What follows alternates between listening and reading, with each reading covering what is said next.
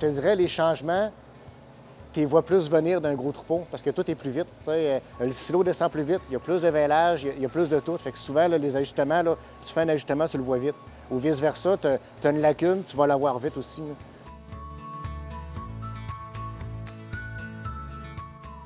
Un troupeau laitier performant, autrement dit, pour performer au maximum, c'est exactement la même chose qu'une équipe de hockey ou de football.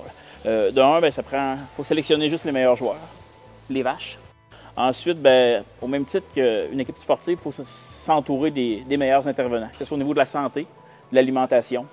Euh, les, autrement dit, les intervenants qui vont graviter doivent être, autrement dit, extrêmement performants, puis vouloir autant que, que le coach.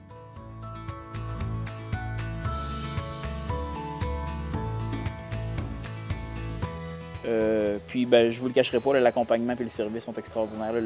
La grosseur de l'équipe fait que le service est adapté à, à la réalité des grands troupeaux, autrement dit.